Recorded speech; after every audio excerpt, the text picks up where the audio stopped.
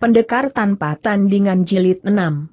Ken Pogoan dan kedua muridnya disambut oleh Wan Gwe dan rombongan yang jumlahnya sangat sedikit ini dipersilahkan mengambil tempat duduk pada kursi-kursi yang sudah disediakan untuk mereka. Ternyata si hartawan Chio Song Kang ini adalah seorang yang sangat aktif, karena selain ia menjadi organisator Pawan Tui, menjadi promotor pibu yang menentukan siapa-siapa harus bertanding, juga dalam pertandingan silat ini ia bertindak selaku panitia. Ken Pogoan dan kedua muridnya lalu duduk. Dan ketika guru silat tua ini melayangkan pandang ke arah rombongan Lu Sanpin, pemimpin Tongkoan Tet Bukan kebetulan sekali sedang melemparkan pandang kepadanya sehingga dalam sesaat dua pasang metu dari dua jago silat bertemu. Dan sungguh pun keduanya sama-sama menganggukkan kepala sambil tersenyum, sebagai tanda mereka sudah berkenalan dan menandakan perhubungan mereka sudah baik berkat pertemuan ramah tamah ketika mereka berunding dengan Wan Gwe. Tempo hari. Akan tetapi sinar mata mereka tetap membayangkan permusuhan atau setidak-tidaknya mencerminkan bahwa di dada mereka masih mengandung rasa penasaran yang belum dilampiaskan. Sementara itu, Wan Gwe tampak menaiki tangga dan menuju ke atas panggung Lui Tai. Dan orang-orang yang berjubel-jubel di bawah panggung itu berdesakan maju dan keadaan menjadi riuh karena penonton yang sekian banyaknya itu ada yang bertepuk tangan, yang bersorak-sorak dan bersuit-suit karena gembira pertandingan silat yang sangat menarik perhatian mereka ini, akan dimulai. Ketika kedua lengan Wan Gwe diangkat ke atas sebagai isyarat supaya para penonton tenang, maka serempak suara riuh dan berbisik tadi lenyap dan keadaan menjadi sunyi. Semua mata ditujukan kepada si hartawan yang bertubuh tinggi besar dan beroman agak keren itu. Setelah keadaan tenang benar, maka Wan Gwe menjura ke arah para penonton dan suaranya ternyata nyaring dan lantang sekali tatkala berkata, Cui Leping, para hadirin, yang terhormat. Sebagaimana Cui ketahui, pertandingan pibu yang diselenggarakan pada hari ini ialah untuk memilih pemimpin atau ketua dari perkumpulan Pau. Antui yang kita bentuk guna menjaga keamanan kota Tongkoan ini. Sebagaimana kita sekalian sebagai penduduk kota Tongkoan sudah sama merasakan, bahwa segala sesuatu yang kita miliki sekarang, yaitu baik harta benda maupun raga dan jiwa kita, seakan-akan sudah berada dalam cengkeraman tangan-tangan jahat yang seperti kalian sudah maklum, yaitu gerombolan perampok dan gerombolan bajak sungai. Kami merasa tidak perlu menguraikan panjang lebar betapa keberutalan dan kekejaman dua macam komplotan penjahat ini oleh karena bagi warga kota Tongkoan umumnya, hal ini bukan rahasia lagi. Hanya yang kami rasa penting untuk disampaikan kepada saudara-saudara sekalian sekarang ialah, bahwa mulai hari ini dengan resmi kota Tongkoan ini telah mempunyai sebuah organisasi yang kami namakan Pawan Tui atau Barisan Penjaga Keamanan, yang gunanya untuk menjaga dan berusaha memulihkan kembali keamanan kota kita ini. Dan dengan demikian berarti bahwa Pawan Tui ini ialah suatu badan konfrontasi untuk menghadapi komplotan-komplotan penjahat musuh kita yang harus diganyang itu. Kami maklum, bahwa di kota Tongkoan ini banyak terdapat orang-orang gagah, akan tetapi oleh karena tidak ada persatuan maka pihak kita menjadi sangat lemah sekali sehingga seakan-akan merupakan barang empuk yang dengan seenaknya dicaplok oleh para serigala murtad itu. Oleh karena ini, maka setelah kami mendapat wewenang dari pembesar negeri dan persetujuan kawan-kawan, kami membentuk organisasi penjaga keamanan ini dengan harapan setelah organisasi Pawan Tui ini berdiri akan merupakan badan persatuan di mana para orang gagah akan turut serta menjadi anggota dan kita bekerja sama dengan haluan bersatu padu, yaitu mengganyang komplotan penjahat. Tiba-tiba terdengarlah suara tempik sorak dari para penonton yang menandakan bahwa mereka sangat setuju dan menyambut dibentuknya Pawan Tui ini dengan gembira. Setelah suara tempik sorak itu lenyap dan keadaan menjadi sepi kembali maka Wan GWM lanjutkan pengumumannya. Sebagaimana tadi telah kami katakan, bahwa diselenggarakannya pibu ini adalah untuk memilih atau merebut kedudukan pangcu. Jadi tegasnya Ibu ini merupakan sayembara. Perlu kami umumkan bahwa pertama-tama yang mengikuti sayembara terdiri dari kedua guru silat yang membuka bukaan di kota ini, ialah Lu Sanpin, si pagoda besi, pemimpin dari Tongkoan Tet Bukaan dan Ken Pogoan, si kepalan sakti pemecah kepala, Kausu dari Sin Kun Bukaan. Kembali terdengar pula tempik sorak dari para penonton sehingga pidato Cioan GWE jadi terganggu dan dihentikan sebentar. Dari para penonton yang sekian banyaknya terdengar teriakan-teriakan. Hidup Lu Kausu. Si pagoda besi pasti menang. Dan dibarengi teriakan-teriakan dari mereka yang berpihak kepada Ken Pogoan. Hidup Ken Kausu dan pasti ia menjadi pangcu dari Pawan Tui ini. Teriakan-teriakan ini membuat Lu Sanpin jadi berseri-seri wajahnya karena merasa bahwa daripada penonton ternyata ia mendapat dorongan semangat yang hebat, berarti bahwa mereka menaruh simpati kepadanya. Akan tetapi Ken Kausu yang mendengar bahwa dirinya diseru-serukan oleh para penonton yang berpihak kepadanya hanya menggeleng-gelengkan kepala sambil menghela napas karena baginya seruan-seruan mereka itu hanya memperuncing suasana dan menyebabkan hati mereka yang bersangkutan semakin panas. Wan GWM mengacungkan sepasang lengannya pula sebagai isyarat supaya para penonton jangan gaduh, dan ketika suasana sudah tenang kembali hartawan ini melanjutkan kata-katanya. Saudara-saudara sekalian, sebagai penduduk kota Tongkoan ini tentu sudah maklum atau sedikitnya pernah mendengar bahwa antara murid-murid dan guru dari kedua bukuan ini telah terjadi peristiwa-peristiwa bentrokan. Maka sayembara ini di samping untuk mengakhiri bentrokan-bentrokan antara kawan sendiri dan untuk memilih pangcu, juga dapat diartikan bahwa diselenggarakannya Lumba Yuda ini untuk menentukan siapakah yang memiliki ilmu silat terbaik di kota Tongkoan ini, yang dilakukan dalam suasana persahabatan, saling mengisi kekurangan, menambah pengalaman guna kerjasama dalam sebuah organisasi Pawan Tui ini. Adapun acara ibu ini dapat kami terangkan sebagai berikut. Pertandingan dilakukan tiga kali di antara tiga calon atau jago yang diajukan dari kedua pihak. Dan pertandingan diserahkan kepada mereka yang bertanding untuk mengadakan perjanjian sendiri, hendak pakai senjata atau tangan kosong dan karena pibu bersifat persahabatan dan bahkan justru guna kerjasama dalam sebuah organisasi maka bagi mereka yang bertanding tidak boleh sampai menjatuhkan tangan maut.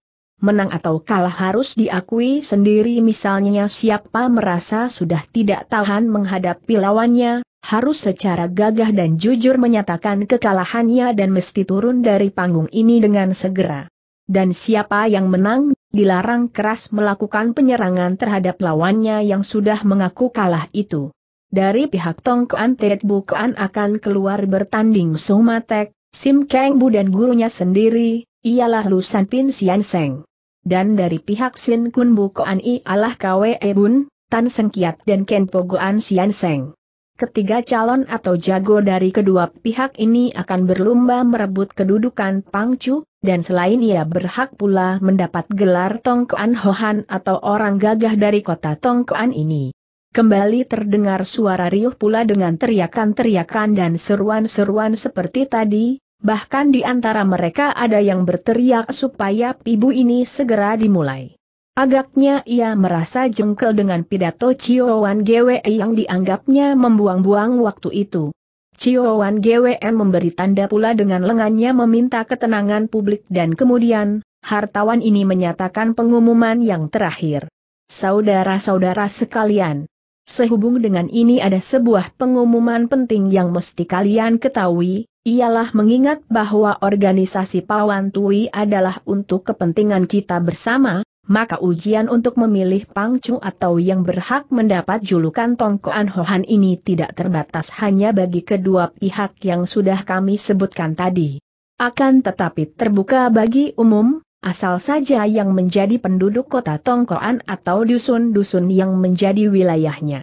Jadi tegasnya, nanti, manakala kedua pihak yang disebutkan tadi sudah selesai bertanding dan siapa yang menjadi pemenang terakhir, seperti misalnya Ken Xian Seng maupun Lu Xian Seng, maka jika di antara saudara-saudara sekalian ada yang berminat menjadi pemimpin dari barisan penjaga keamanan dan mendapat gelar kehormatan Tongkoan Hohan, kami persilahkan.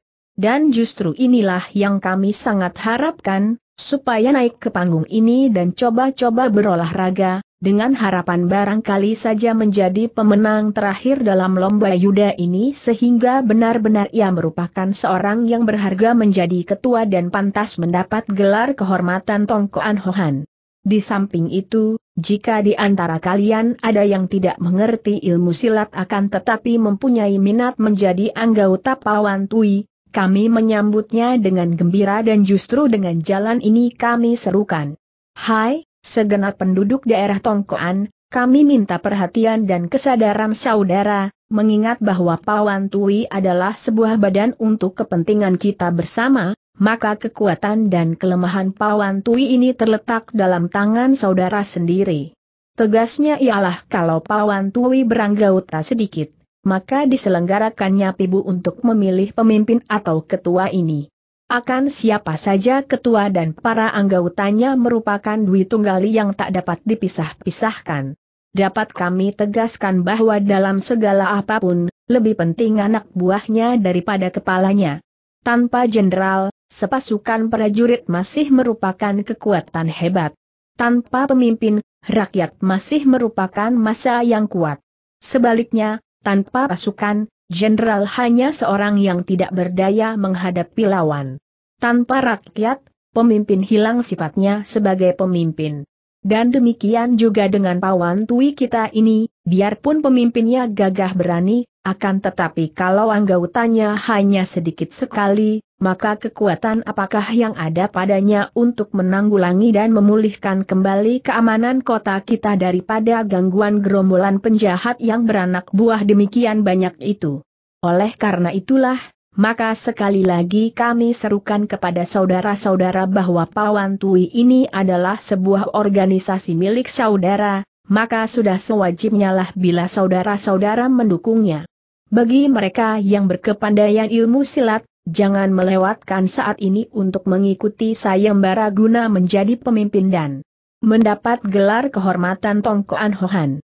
Sementara bagi saudara-saudara yang tidak mengerti ilmu silat jadilah anggota Pawan Tui supaya organisasi kita ini benar-benar merupakan sebuah barisan keamanan yang kuat dan dapat mengganyang gerombolan penjahat musuh kita itu.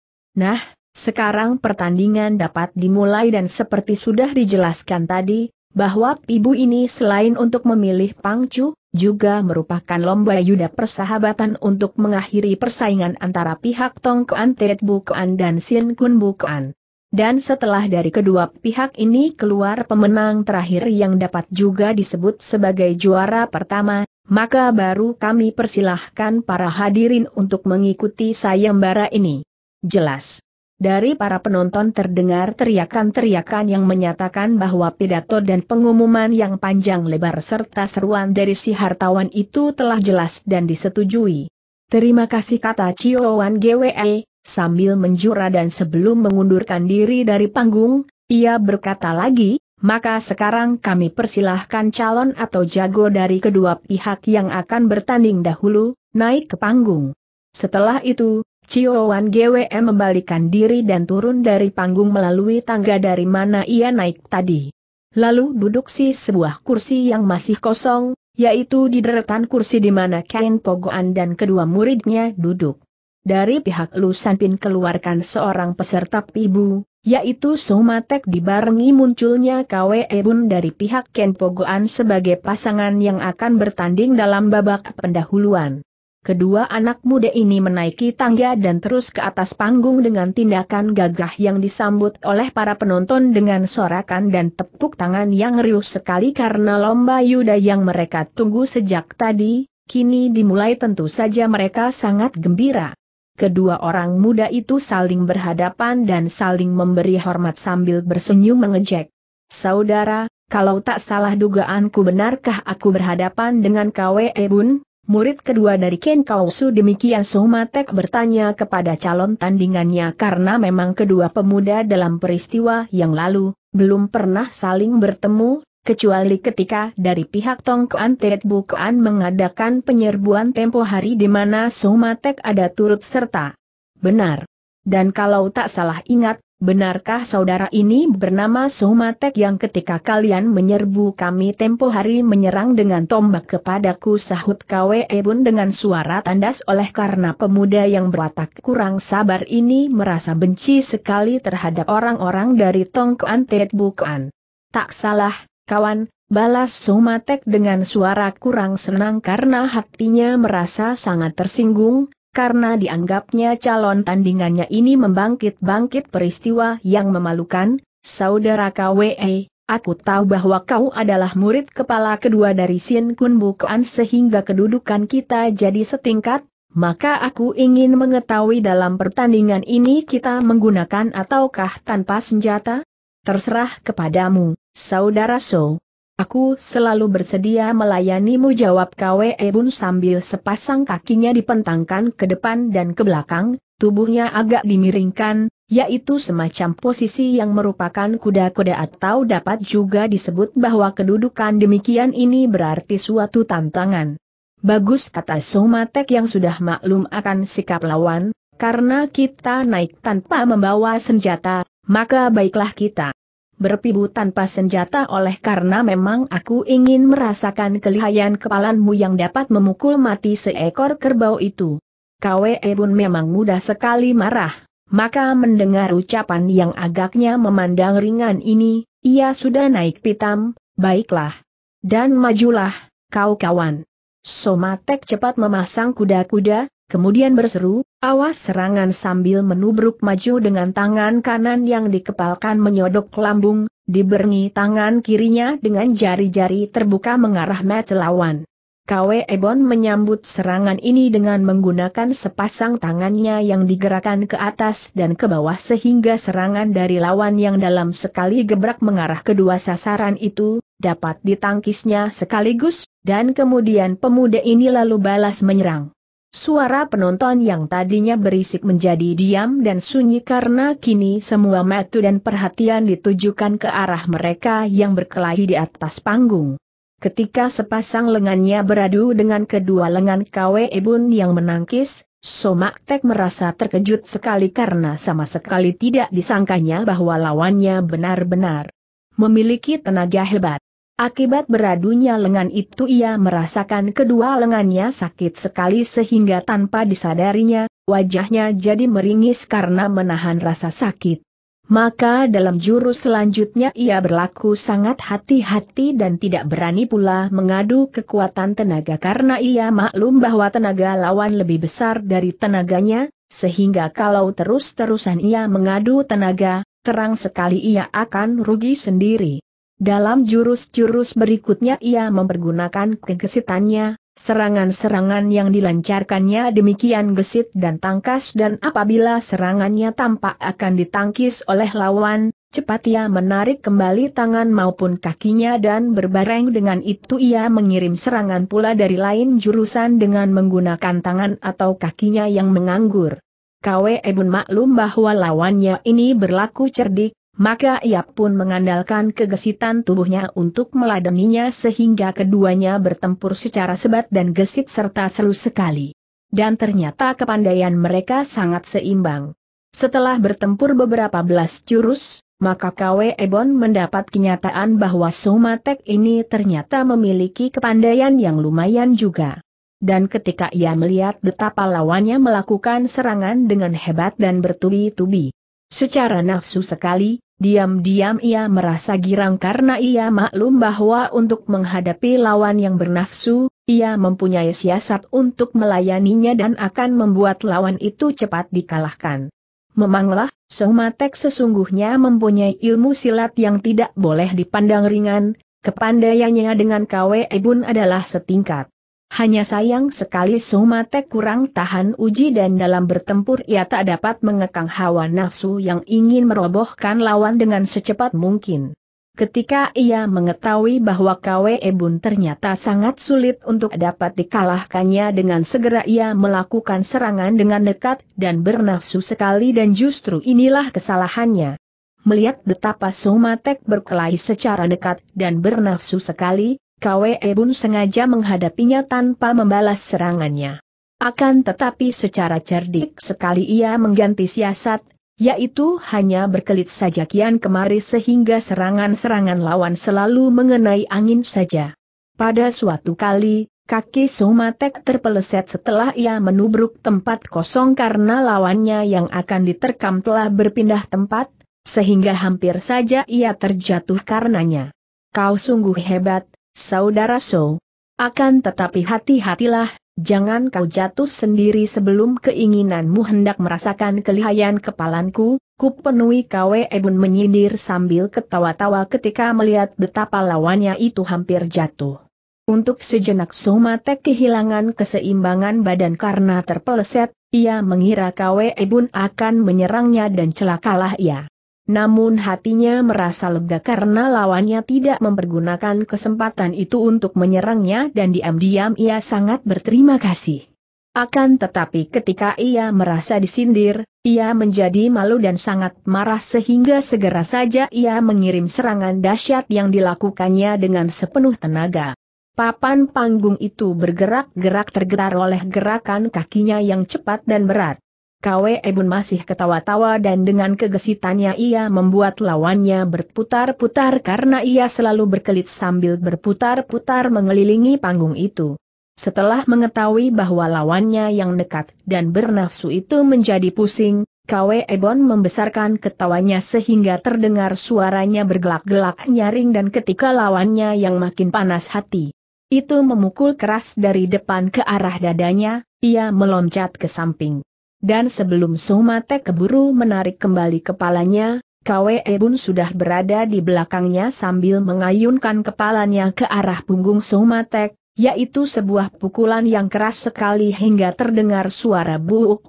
Karena kepalanya telah pening dan kini ditambah lagi punggungnya dijotos dengan dahsyatnya kini Somatek benar-benar merasakan kelihayan kepalan lawannya seperti titik yang kehendaknya dalam ketakburannya tadi.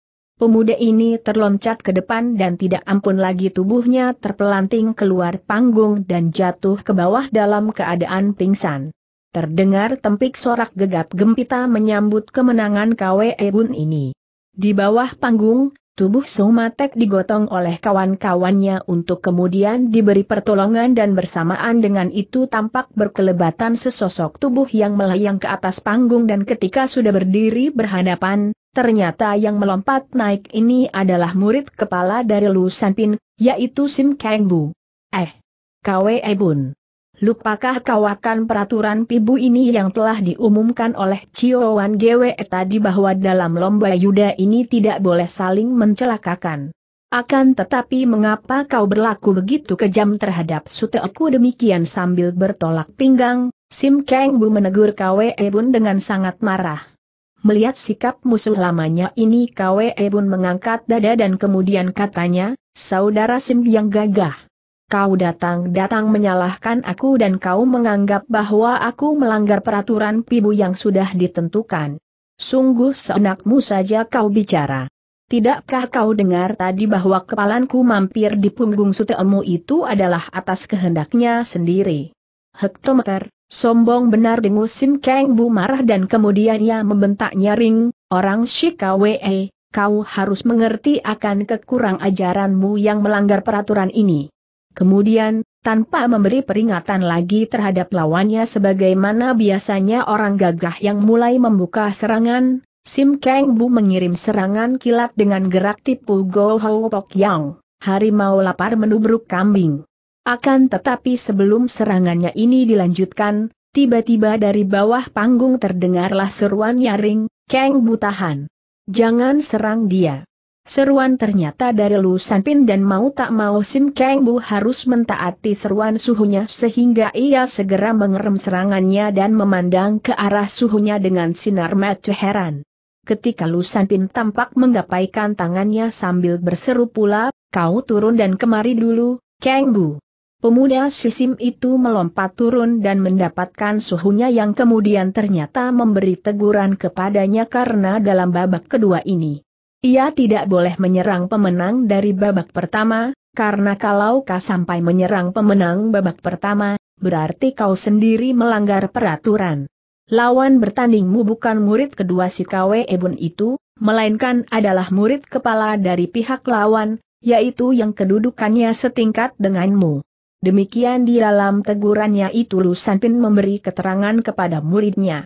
Kini Sim Kang Bu mengerti mengapa ia dilarang menyerang Kwe Bun dan ia merasa malu sekali karena telah berlaku keliru dalam tata cara lomba Yuda yang ditonton oleh masyarakat kota Tongkoan ini. Sementara itu Kwe Ebon pun sudah turun dari panggung karena pemuda ini juga dipanggil oleh gurunya supaya mengundurkan diri dari gelanggang. Ketika itu tampak Wan Gwe naik ke atas panggung dan sebagai panitia yang merangkap juri dalam pertandingan yang diselenggarakannya ia lalu menyatakan pengumuman dengan suara nyaring. Saudara-saudara yang terhormat. Babak pertama sudah selesai dengan kemenangan murid kedua dari Sin Kun Bukuan sehingga dengan demikian Bukuan tersebut menang satu biji atau tegasnya 0-1 untuk Sin Kun Bukuan.